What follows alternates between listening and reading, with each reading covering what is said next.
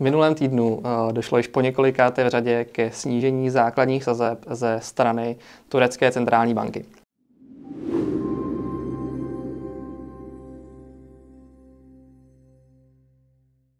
V době, kdy většina centrálních bank přistupuje k pravému opaku, eh, došlo ke snížení o 1,5% bodu na 10,5%.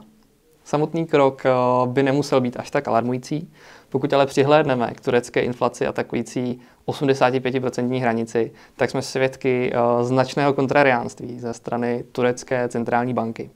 Motivem tohoto snížení eh, byl tlak ze strany tureckého prezidenta Erdogana, který snížením základních sazeb cílí na oživení hospodářského růstu a díky nadále oslabující liře podporu exportu.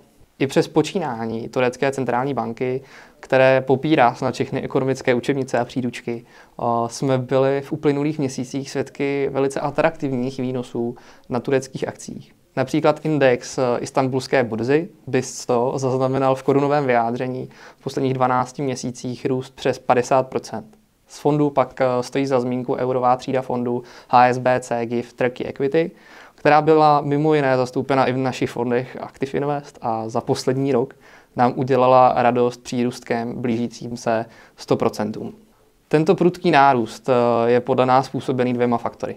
Prvním z nich eh, je poptávka ze strany tureckých investorů, kteří ve snaze bojovat s inflací vytahují úspory z běžných a spořících účtů a směřuje právě do tureckých akcí, čímž pozitivně eh, ovlivňují jejich cenu. Pro zahraniční investory může být pak tato bíčí rally motivem pro opětovný vstup na tureckou burzu, přičemž slabá lira tureckým akcím v očích zahraničních investorů ještě přidává na atraktivitě.